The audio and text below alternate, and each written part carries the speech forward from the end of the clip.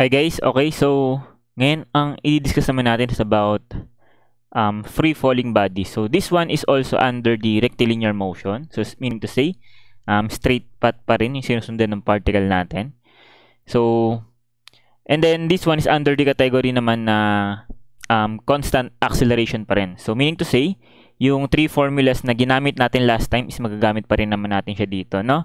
So, let us just review yung three formula na yun. So, number one, yung final velocity is equal to the initial velocity plus 80. Next is the displacement S is equal to the initial velocity times the time t plus 1 half 80 squared. And then, the final velocity squared is equal to the initial velocity squared plus 2as. Okay? So, wala naman tayong pinagkaiba dito guys sa na-discuss natin last time, no? So, ang special lang dito guys is that yung acceleration na gagamitin natin dito is actually yung acceleration due to gravity. Okay? So, yun lang naman siya class. So, ano ba yung acceleration due to gravity guys? Di ba yun yung ano? Yun yung denoted by G which is in SI units that is 9.81 meters per second squared and in English units this one is 32.2 feet per second squared. Okay? So commonly nagtatanong yung mga estudyante no, ano ba yung gagamitin na na numerical value nung nung acceleration due to gravity? Is it yung negative 9.81 since downward yung effect niya? Okay, so um, ganito ginagawa natin dito guys, no? So, hindi siya always na negative 9.81 pag in-input dun sa uh, three equations no na gagamit ng acceleration. So, mayroon na tayo sinusunod dito guys na sign convention which is I think hindi ko naman siya na-elaborate last time no sa kasi 'di ba yung last time yung yung, yung pinag-usapan natin is mainly horizontal yung motion no. Yung, yung movement ng particle natin no yung mga ang examples doon 'di ba yung cars. So horizontal yung motion. So in this scenario kasi yung acceleration nga is due to gravity So yung yung motion ng particle natin dito is ano, upward motion but still straight, no? Pero upward nga lang. So it can uh, move upward or it can move downward. So kailan ginagamit na negative si acceleration or kailan siya ginagamit na as positive, no? So baka kasi nakasanayan mo puro negative 9.81 since yung effect nga niya is always pababa. So hindi siya ganun guys. Na meron tayong sign convention na ito, ito yung gagamitin natin mapa horizontal or mapa vertical. Okay, ito yung sign convention. Kasi sa pagkuha ng velocity, pagkuha ng displacement, and at the same time acceleration, mahalaga yung yung sign, no, kung positive or negative kasi it indicates yung direction. No, kasi 'di ba sabi natin yung tatlo na 'yan, mga vector quantities 'yan. So meaning to say, kailangan ma-define yung direction. So yung direction can be represented by yung sign, no, kung positive or negative. So pag-usapan muna natin no, yung horizontal motion. So, ito naman is applicable pa, uh, mapa horizontal or vertical. Pero, pag-usapan na rin natin yung horizontal. Let's say, for example, ito yung particle. Okay?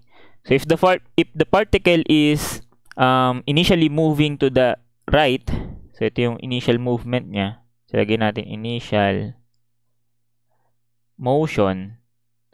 Okay? So whatever is the direction ng initial motion, so yun yung i-consider natin as positive sense. So meaning to say, kung magsusukat tayo ng location niya, papuntang right, so yun yung magiging positive.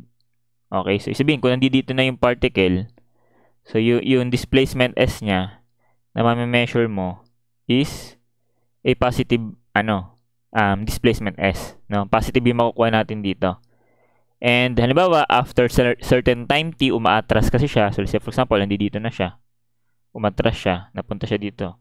So, kung i-measure natin from the initial position, papunta na sa final position niya. So, this one, yung makukuha natin is negative s, no? So, ganun lang yan, guys, no? Whatever is the direction ng initial motion, so yun yung i-consider natin as positive sense. So, the same way with the velocity, no? So if the movie uh, if the particle is moving to the right, so yung, yung motion niya is to the right, so therefore, yung velocity na i-consider natin is a positive value ng velocity.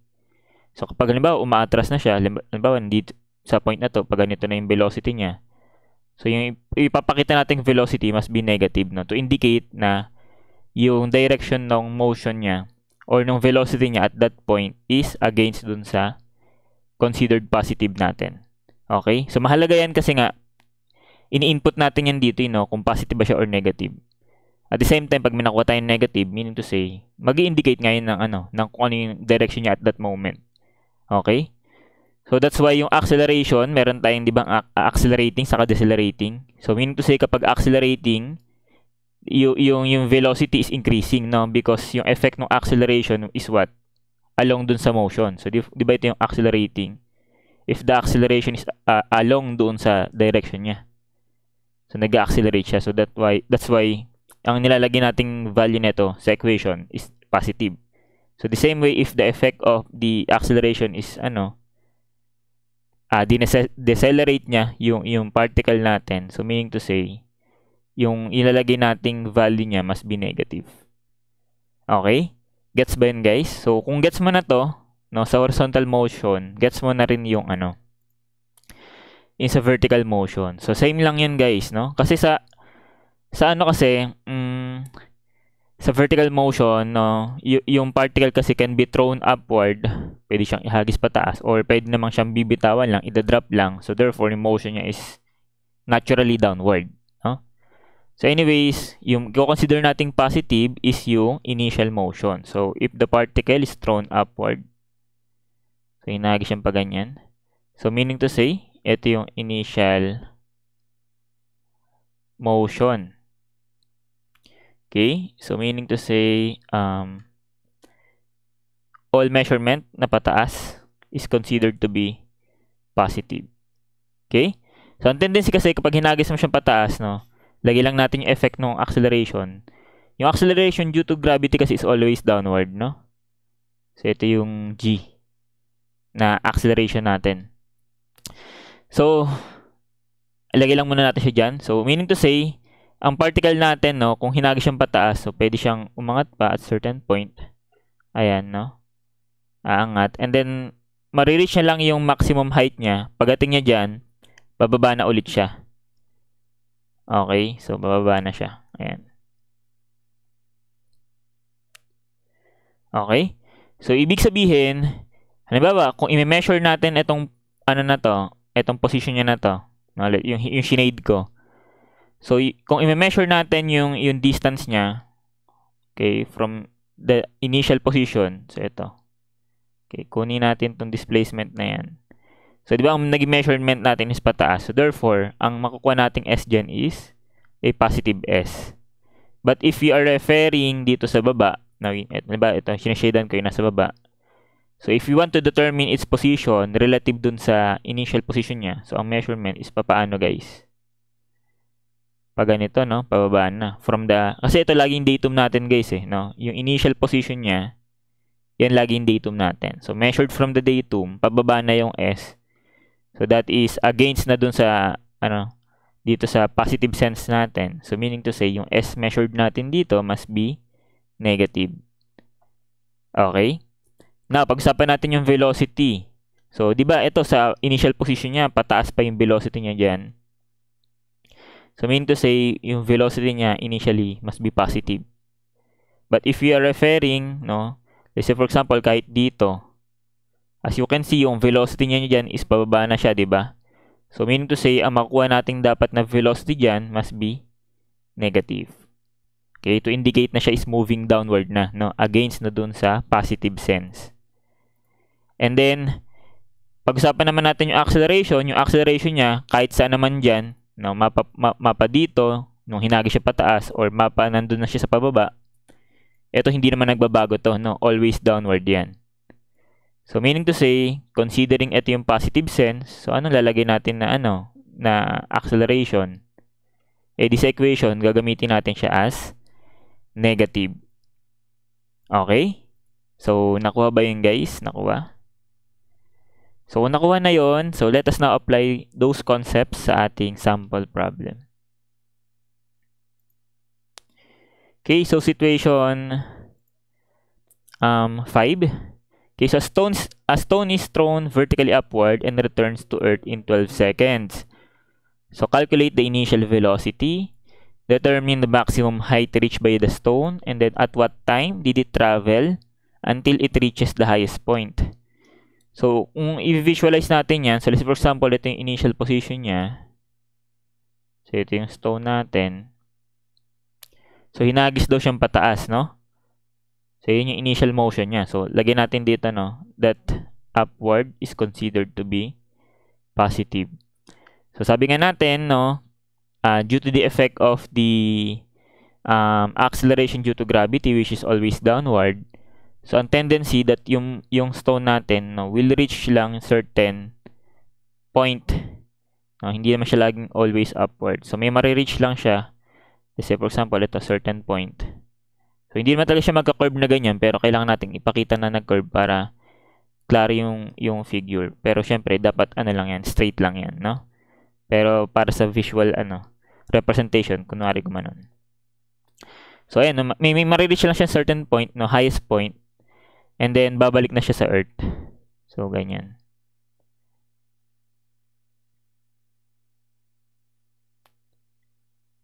Okay. So, for example, yan. Okay, so ano yung mga given, guys? So, ang given is at this point, no, which is i-highlight natin na lang siguro ng etong dilaw.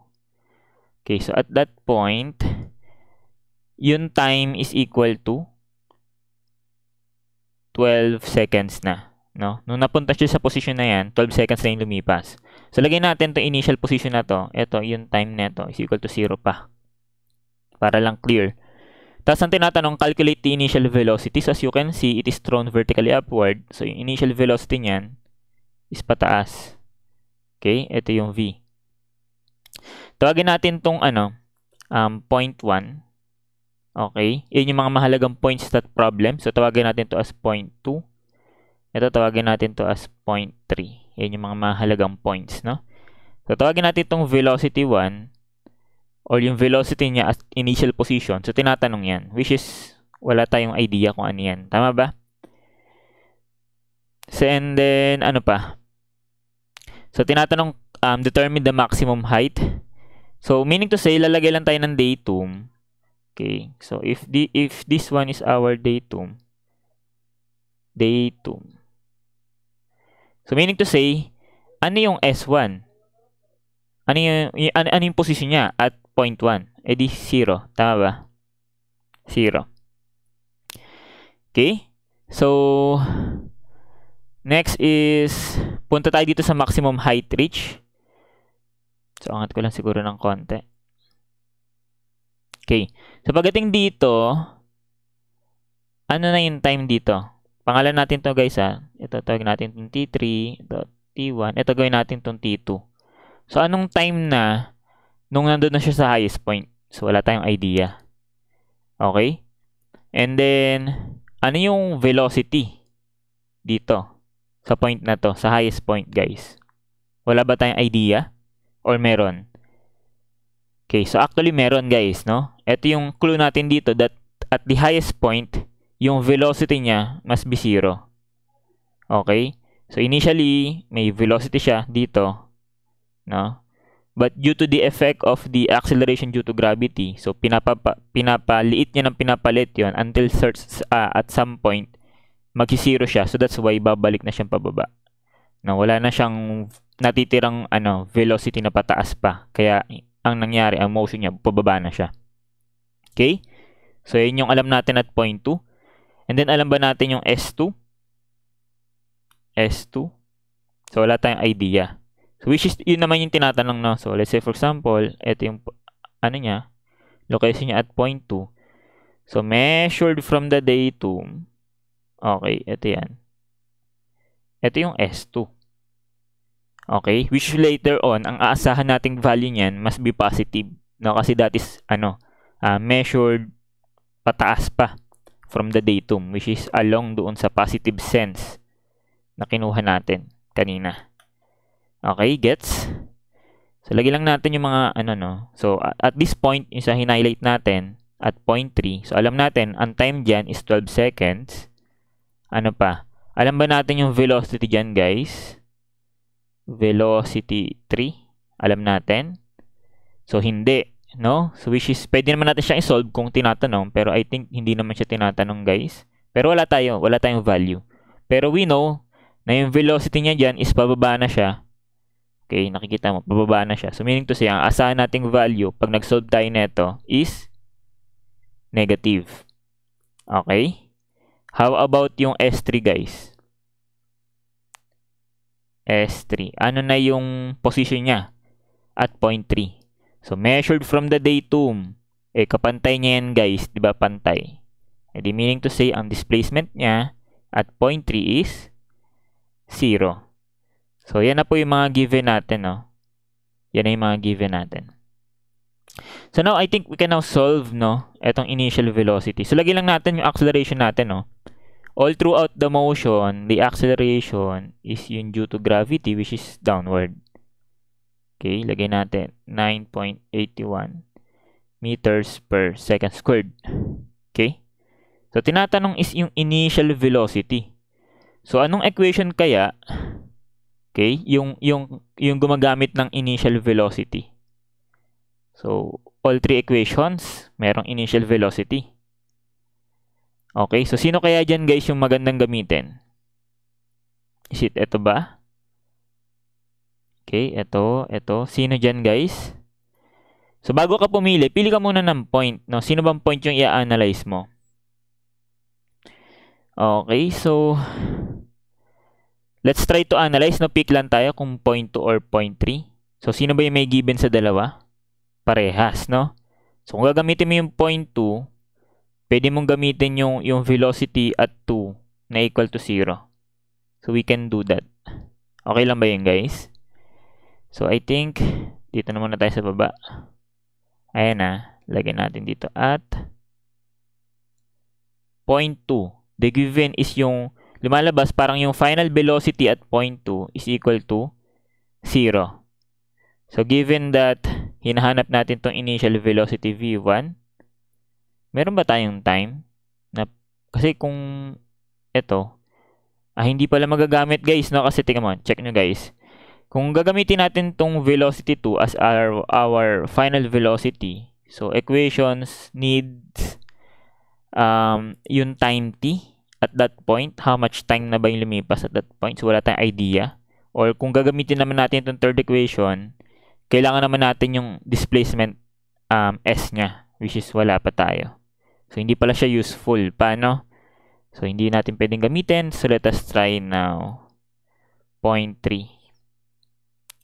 So, at point 3, ang meron tayong given is what? Yung time na 12 seconds. And then, yung displacement niya ay 0. Okay? So, if you will use this one as our initial and then this one as our final, so what we can use is what? Pwede ba natin gamitin yung ano? Ito? Hindi. Kasi nga, wala tayong final velocity, di ba? As wala pa tayong um, initial velocity. So, hindi pwedeng gamitin. Eto, pwede ba to guys? Pwede, no? Anyways, ito ba pwede ba to? Wala tayong final, wala tayong initial. Ito lang meron. So, hindi rin to useful. So, use equation 2, guys. No? Use equation 2. So, final square, ah, displacement S. So, balik tayo doon is equal to VOT plus 1 half AT squared. So, we are referring to position point 3. So, lalagay natin dito yung S3. Yung initial considered natin is yung nung hinagis siya, yung V1. And then yung time elapsed yun, is yung T3. Then plus 1 half. Uh, ano yung G na lalagay natin dito guys? So, since the effect is downward, against do sa positive sense, so lalagay natin negative g. Okay lang ba yun guys? And then t3 squared. Okay, so direct sub, we know that the position niya is 0. So, ito, initial, time elapsed, 12 seconds. And then, lagyan na natin dito, no, minus 1 half times 9.81 and then times 12 squared. So I think we can now solve for the initial velocity dun sa point 1. So how much that guys?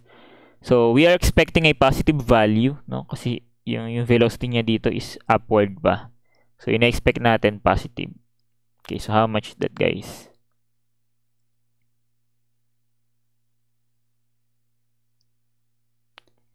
So that one is 58.86. So lagyan natin 58.86 meters per second. Okay? So let us check kung tama tayo guys. So we are correct.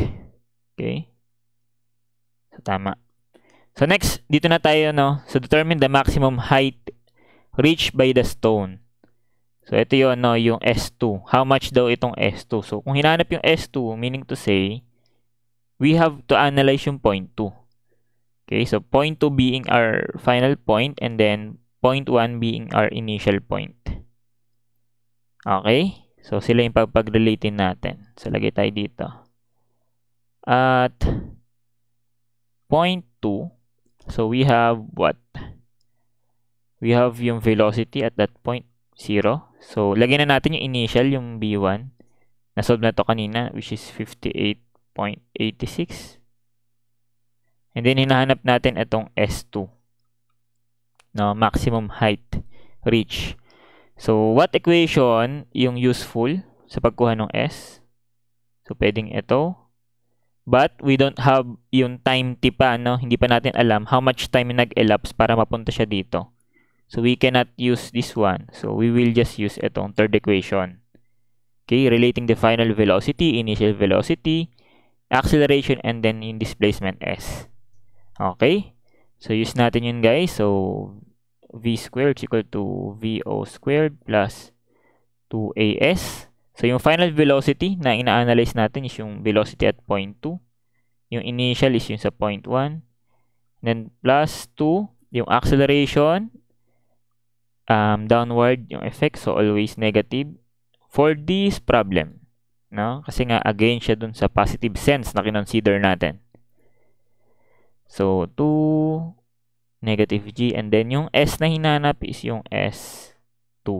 Okay, so direct sub, guys. So, we know, yung velocity at that point is 0. Initial is what? 58.86.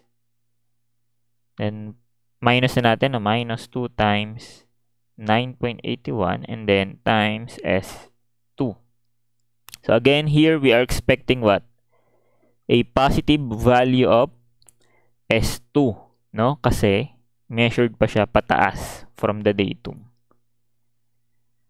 So how much is S2, guys?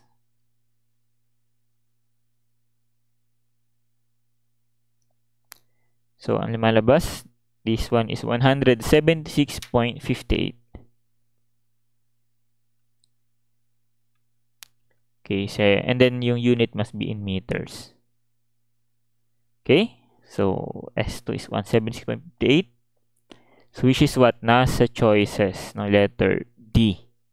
Okay, so we are correct. Okay? And finally, at what time did it travel until it reaches the highest point? No, ito yung tinatanong, T2. Ano nang gusto mong gamitin, guys? So, you can now use this one, equation 2. Since we already have yung S, So, T na lang yung hinahanap dito. But, mas simple yata tignan ito guys, no? So, velocity, final velocity is to the initial plus AT. So, I think, utilize na lang natin tong equation 1. So, using equation 1, so, final equals initial plus AT. So, final is what? 0. Initial is nanggaling sa 58.86. And then, minus 9.81. And then, yung time na hinahanap natin is yung sa point 2. No? Kasi lalagyan natin dito guys. Icing natin para clear lang. No? So, yung final na pinag-uusapan is yung sa point 2. Yung initial is yung sa point 1. Yung acceleration is yung negative g. And then, yung time t is yung sa point 2. Okay, so that's why ito yung naging equation natin. So now we can now solve for time 2. How much that guys? So this one is 6 seconds. So as you can see, parang kinalahati lang natin, no? Itong 12 seconds. So kalahati nung oras, papataas siya.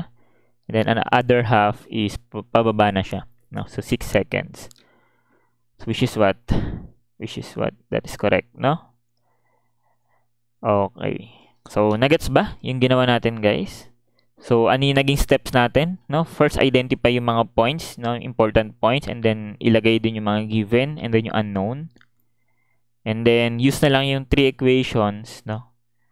For constant acceleration. So, wag lang magkakamali dito sa grav um, acceleration due to gravity, no? So, in this scenario, negative siya. Pero not always the case. So, depende dun sa assume positive sense. Okay? So, I think para mas gets natin siya, proceed na tayo sa next problem natin.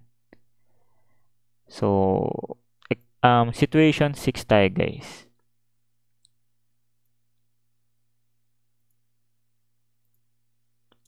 Okay, so ayan. Sabi naman dito, a stone is projected vertically upward from the top of a 120 meter high tower at a velocity of 36 meters per second. So determine the maximum height attained by the stone measured from the ground. So, i-highlight ko na to guys. Baka magkamali tayo mamaya. So, ang measurement, no, is from the ground. Hindi measured from its initial position. Okay? So, next is how long will it take the stone to reach the top? And then, how long will it take the stone to reach the ground? And then, what with what velocity will it hit the ground? So, as you can see, ang sabi dito, it is um, thrown vertically upward from the top of a tower 120 meters high. So let us just draw a tower. Let's say for example, ito na lang. Okay, kunwari tower na yan guys. Pwede na yan. So andi dito siya no. Ito yung initial position ng stone. So it will reach certain point. Let's say for example, ito. Maximum height niya. And then babalik siya dito sa baba.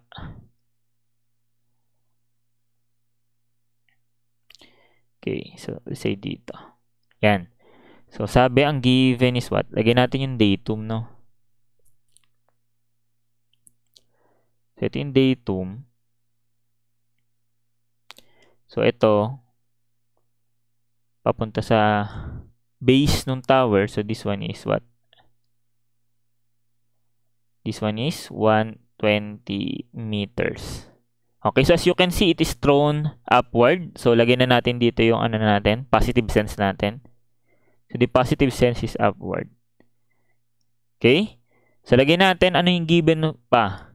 So, ang initial velocity dito, so, tawagin natin yung mga points again. This one is point 1, ito point 2, ito point 3. So, at point 1, so time is equal to 0. So, ang initial velocity is upward.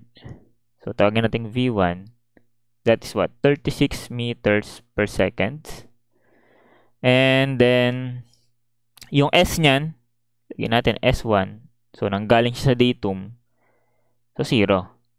Na, ang measurement natin is from the datum. Okay? So, now, punta tayo dito sa point 2. So, bilugan ko lang to siguro. Ayan. So, at point 2, lagay natin dito. So, ang time dito, unknown. Yung velocity dito is alam natin. So, this one is 0 at that point. And then, yung S dyan is S2 which is unknown. So, yung S2 is what? Now, from its position, that is measured from the datum. Ito yung S2. Okay? So again, we are expecting a positive value of S2 later on sa equation natin. So, yun lang naman yan guys. And then sa point 3, so, check na natin kung kita pa nga. So, angat ko lang siguro. Ayan. So, at point 3, so, kailangan natin i-define. So, T3, meron ba tayo guys? Wala, no? Tinatanong nga yata ito. And then, meron ba tayong velocity 3? Wala rin. Pero we are expecting a negative value since yung direction yun is downward na. No? And then, S3. Meron ba tayong S3, guys? So, S3 is what? So, from its position, measured from the datum, ito yung S3. Okay? So, which is what? Saan equal yung S3? Wala ba tayong value niyan? Wala. No, pero from the figure, this one is equal to 120 meters. Okay? But as you can see, this one is measured downward. So, therefore, ang, ang S na lalagay natin is negative 120. So, nasundan ba guys yung paggamit natin ng, ng, ng, ano, ng sign, kung positive or negative? And then, wag natin kakalimutan yung acceleration due to gravity. So, lagyan natin to as G. So, in this scenario, so positive is yung pataas. So, therefore, gagamitin natin to sa equation as negative. Okay, so pinakita ko ba yan dito? Ay, hindi na, no? Pero sa equation, pinakita ko na yan, no? na nag-negative siya. So, dito, ayan, negative value ng G yung gagamitin natin. So, let us start. Determine the maximum height reach. So, ito. S2. So, paano kaya natin makukuha yan, guys?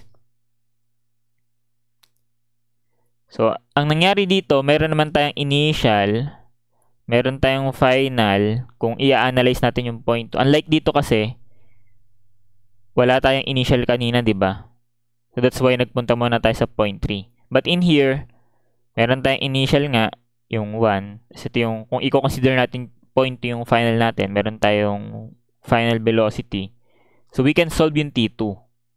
Or actually, we can solve directly nga yung ano eh, etong S2. No? Anong equation yung gagamitin, guys? So, lagay natin dito. So, anal analyzing point 2. So, yung final velocity at point 2 is 0. Yung initial velocity is um, 36. And then, hinahanap natin yung S2. So, what we can use is what? Yung second equation that S is equal to, or yung third equation rather, no, hindi natin gagamitin yung time t. Which is what? Um, V squared is equal to VO squared plus 2AS. Okay? So, lagay natin dito 0 squared. Yung initial is yung 36 squared. And then plus 2. Yung A is negative 9.81. And then yung hinahanap natin yung, yung S2. So, meaning to say may makukuha tayong S2 guys. So, how much is that? So, that one is 66.055. Okay, so this one is in meters. So, as you can see, this S2 is nasa choices.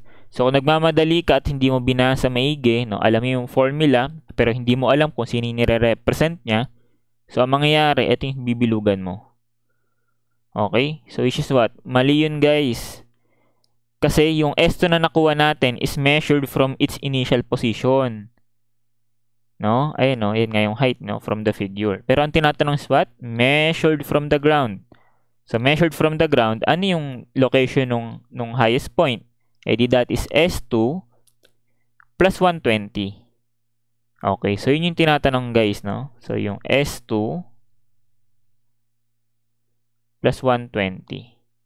So, equal saan yan guys? So, that is 186.055 meters. So, ito yung sagot. No? So, wag mo mamadali.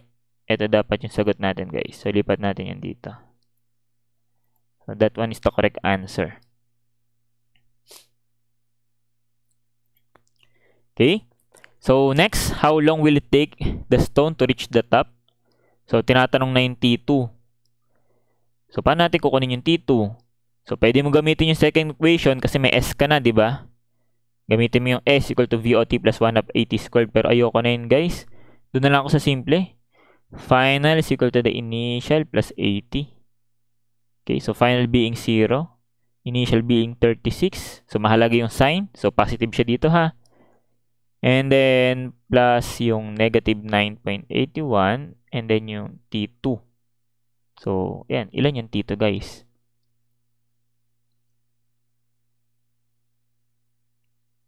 So that one is 3.6697 or 3.670 seconds. Okay? So which is what? Nasa choices. Okay? Easy lang, no? Basta na-identify natin correctly yung mga um, parameters dun sa mga important points na kinuha natin. So next, how long will it take the stone to reach the ground? So ito yung tinatanong T3. Okay? So meaning to say yung analysis na natin is magbabago na. Doon na tayo sa at point 3. So we have what? Final. Meron ba? Wala, no? Ano pa ba yung given? T3. Wala rin. We have yung S3. Yung negative 120. And then, lalagay lang natin dito yung initial. No? 36. Kasi laging ginagamit yung initial, di ba, yung VO. So, yan. So, how do we solve yung time? E gamitin natin yung same approach na ginawa natin dun sa ano, point 2. So, that is what? Final is equal to initial plus 80. Okay? Ay, pwede ba to guys? Wala pa pala tayong final, no? So, hindi natin ito magagamit, guys. No? Wala pa kasi tayong final velocity V3. So, what we can use is yung, yung equation na may S. Okay. So, let's try. Yun na lang muna gamitin natin. Burahin ko muna ito, guys. So, that is what? Yung S is equal to VOT then plus 1 half 80 squared. Okay? So, lalagay natin dito yung negative 120 is equal to initial 36 and then yung time is yung T3 and then plus 1 half negative 9.81 and then T3 squared. So as you can see, quadratic equation, so meaning to say we can solve two possible um, values of T3. So ano-ano yan guys? So kaya nyo na yan guys. Pakisolve. Ano yung T3?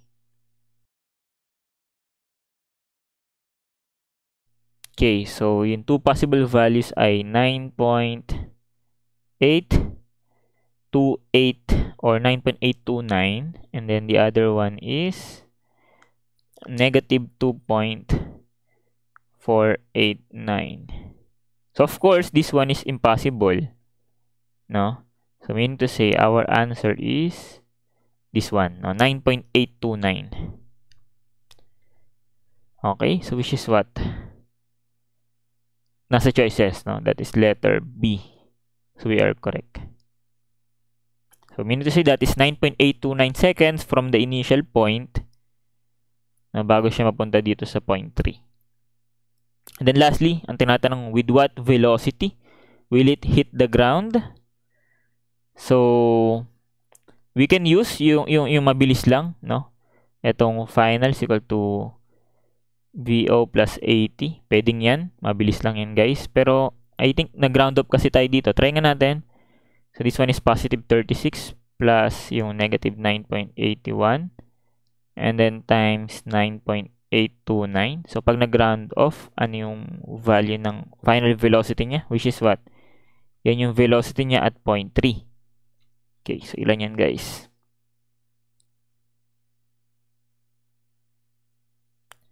That one is negative 60.42 meters per second. So, negative only indicates that yung velocity ng particle natin at that point is downward. Okay? So, check na natin kung nasa choices. So, yun, no? Letter A. So, hindi na pinakita kung positive or negative. Pero numerical value niyan, yan yun.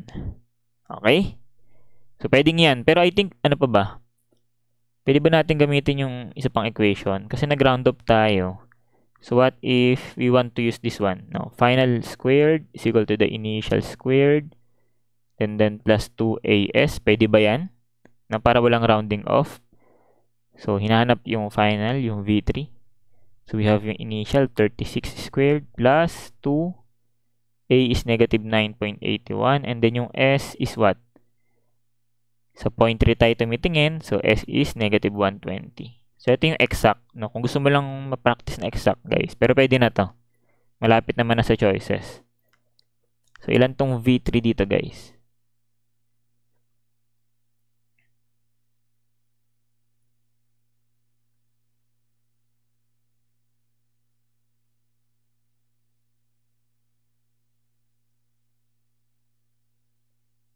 Okay, so ito 60.4185.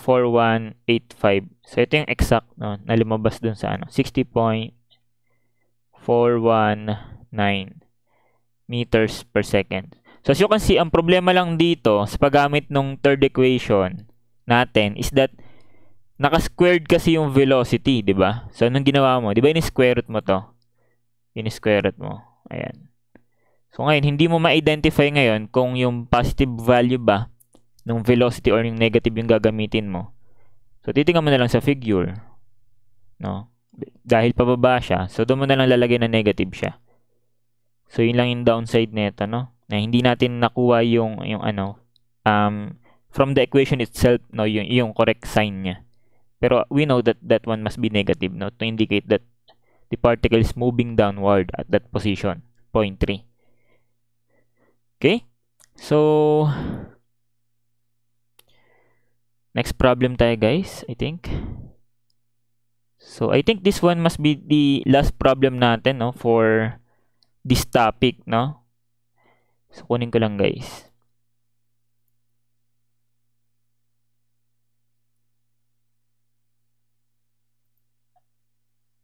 So, hopefully na nasusundan yung discussion natin.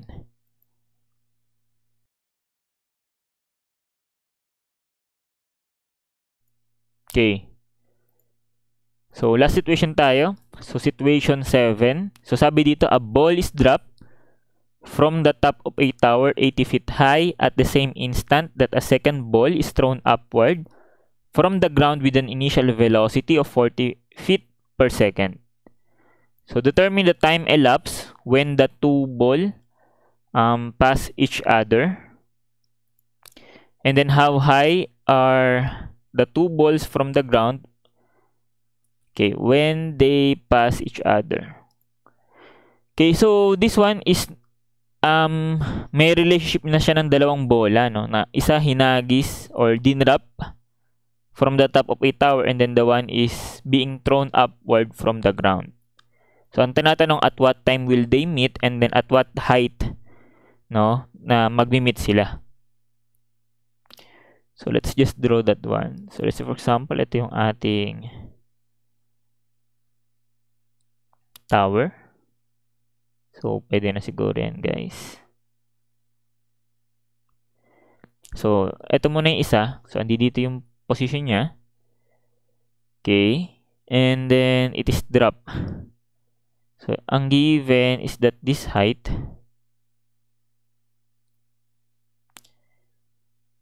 okay, must be 80 feet. So, ito yung dinrop. Lagyan natin direction. Okay? So, tawagin natin tong ball number 1. Pwede na siguro yan, guys. And then, the other one, nandi dito sa baba, from the ground. So, it is thrown vertically upward. So, ito yung direction. Tawagin natin tong point 2. So, as you can see, we, we have two um, particles na no, or bodies na ina-analyze. So, ang gagawin lang natin dito, um, bibigyan lang natin ng sign convention, no? Yung yung yung each particle, no? Kanya-kanya silang sign convention. So since magkaiba kasi sila ng motion, ng initial motion, the one being drop, no, or pababa yung initial motion niya and then yung isa upward. So magkakaroon ng ano, um, pagkakaiba doon sa sign convention. Okay? So analyze muna natin yung ano, ball 1 para hindi tayo malito. So ito yung datum niya for ball 1. Okay, yan yung datum. So, ang sign convention natin dito is what? Downward yung magiging positive. Kasi yan yung initial motion niya. So, let us now identify mga given. So, of course, um, yung velocity initial niya is 0. Kasi drop lang, di ba? Nilaglag lang. So, yan na yun. Pwede na siguro yan guys, no? Um, sige, yan lang muna guys, no? Yan lang muna. And then, malalaglag kasi yung, yung ball 1, no? let's say for example, at certain point, um, dito siya mapupunta. Okay? So, lagyan na natin yan, guys. So, let's say for example, dito siya pupunta. Kasi, ang, diba, ang tinatanong dito, ang goal natin, malaman kung at what time sila magmi-meet na magpapantay. Let's say for example, i-drawing ko na rin tong ball 2. So, yung ball 2 kasi, ito siya.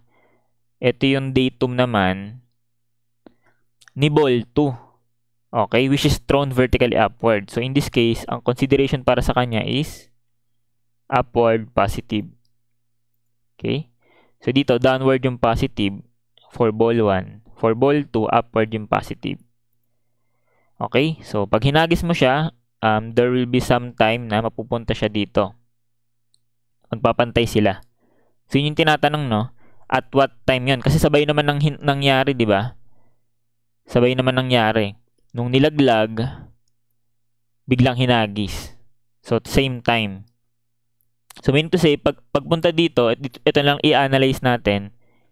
No, yung time netong red ay the same dito sa ano, time nung nung ball 2 netong blue. No? Yung time na napunta siya diyan is the same time na napunta dito yung ball 2. Kasi sabay naman nangyari. Nung nilaglag, hinagis. Okay?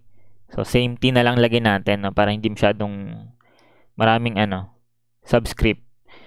So, ang problema is kailangan nating identify yung, yung, yung S, no?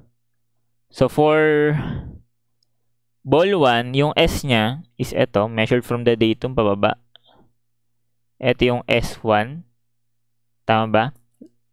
Tawagin na lang natin S1, no? Um, representing yung position ng ball 1 after time t. So ngayon, anong S1 yung gagamitin natin dito guys? Is it positive or negative? Since we measure it pababa pa, no? Pababa yung measurement natin from the datum. Positive or negative? positive, no? Positive yun guys kasi nga ito nga yung consideration natin para sa kanya, 'di ba? All downward measurement is considered to be positive. So this one positive 'yan. Okay? While for ball 2, so ito kasi yung from the datum papunta dito, ito yung S2. No? Position ng ball 2 after time t. O, ano yung S2? Positive or negative? Positive, no? Kasi nga, for ball 2, ito yung sign convention natin. Upward is positive. So, ito, positive yan. Okay? So, dito lang magkakaroon ng pagkakaiba yan sa consideration ng acceleration due to gravity. Since the acceleration due to gravity is always downward, so magkaiba yan, no? Para dito, yung acceleration sa, sa ball 1, since along siya dun sa considered positive sense, ayan. So, kapag ginamit siya sa equation, positive G. Okay? But for ball 2, pag, pag ina-analyze natin yung ball 2, okay? So, meaning to say, upward kasi dito yung positive. So, again siya dun sa positive sense. So, ang gagamitin natin ditong um, acceleration is what? Negative g. No? Against siya dun sa positive sense. So, may binigay pala dito, no? Hindi ko nasulat that yung velocity initial nito, tawagin nating velocity initial nung ball 2, ayan, V2 na lang, sinabi dyan that is 40 feet per second. So, lalagay ko positive ba? 40 feet per second. Positive kasi, yung initial motion naman niya is upward. Eh, hinagis nga siya. So, that is along dun sa positive sense. Sana hindi kayo nalilito dun sa sinasabi ko, guys, no? Okay. So, ito yung sa ball 1. Ito yung sa ball 2. Okay? So, now, what is the relationship, guys? No? Paano natin masasolve yung time saka yung location. So, hinahanap is yung time t. Lagay natin dito. Yung tinatanong is yung time t and, di ba, how high are the balls from the ground? So, meaning to say, ito yung tinatanong yung S2. No, kasi measured, me measured from the ground eh. So, that is referring to S2. So, how much daw yung T and then how much itong S2. Okay? So, kapag we are dealing with um, two particles, so we must um, provide no, yung relationship between dun sa mga distances nila. So, as you can see, ito yung S1, ito yung S2. So, pwede ba natin sabihin guys that S1 plus S2 ay equal sa 80 feet? Yes, pwede no. So, yun yung magiging first relationship natin. S1 plus S2 is equal to 80 feet. So now we just have to provide no yung, yung um, equation for S1 in terms of time t. So that is dito lagyan natin dito no. For ball 1 so we use what? Ay ball ba yan? O pares naman ball. So we use what? Yung S is equal to VOT plus 1 half 80 squared. So, ito yung gagamitin natin kasi nga gusto natin i-represent yung S in terms of time t. Okay? So, yung S1, lagyan natin is equal to, initial niya is what? Diba? Dinrap lang siya, so 0. Yung time niya is what? T na lang. No, 0t and then plus 1 half. Ano yung A na lalagay natin guys? Is it negative 32.2? Take note, English tayo guys ah feet per second. So, negative 32.2 ba guys? Hindi, di ba? Sabi nga natin, considering yung ball 1, ang effect ng acceleration due to gravity is positive. Okay? Kasi alang siya dun sa positive sense. So, sana nakukuha natin guys. So, lalagyan natin dito, positive 32.2 and then t squared. So, yan na. Pwede natin ipalit yan later on for S1. And then next is considering yung ball 2. So, for ball 2, so same, S is equal to VOT plus 1 half AT squared. So, yung S natin dito is yung S2. So, is equal to the initial 40. Yung time natin is yung same time t nga lang. No, for ball 1. And then plus 1 half, anong acceleration ang gagamitin? Positive or negative? Since always downward. And then for ball 2, ang consideration natin ng positive is yung upward. So, negative siya. Ay, ano yan? So, ayan, negative siya for ball 2. Okay, so this one is negative 32.2 and then times t squared. Nakuha ba yun, guys? So, using this relationship, which is ikakopy ko na lang. So, using this one, we can now replace um, replace S1 and S2 no, in terms of time t. So, this one is yung S1. Okay. Lagyan natin ito. And then plus S2.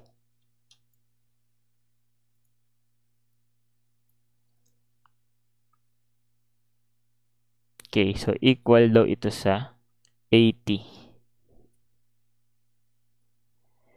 So with that, no, ang only unknown na lang dyan is yung t na hin, uh, time t.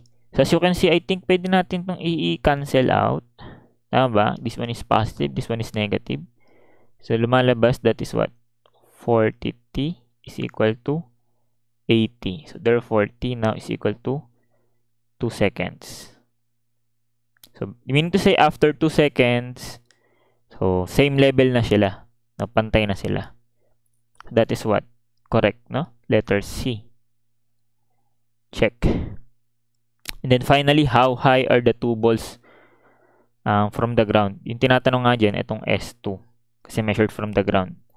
So, I think pwede na lang natin ditong palit yung ano. Para mabilis lang. Palitan mo to ng 2 guys. O, 2. This one is 2. O, ilan yung S2?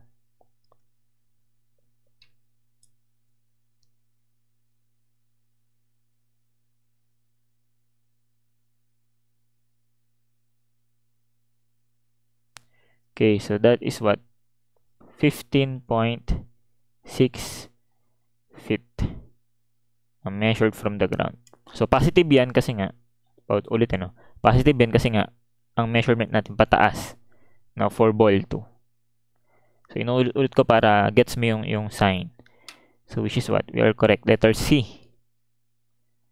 Okay, so, yun guys, no, yun lang naman yun no, for free falling body. So, sana na-gets ninyo. So, madali lang yan. Same lang yan ng, ng ano, horizontal motion critical lang yung consideration ng sign. So, yun lang guys.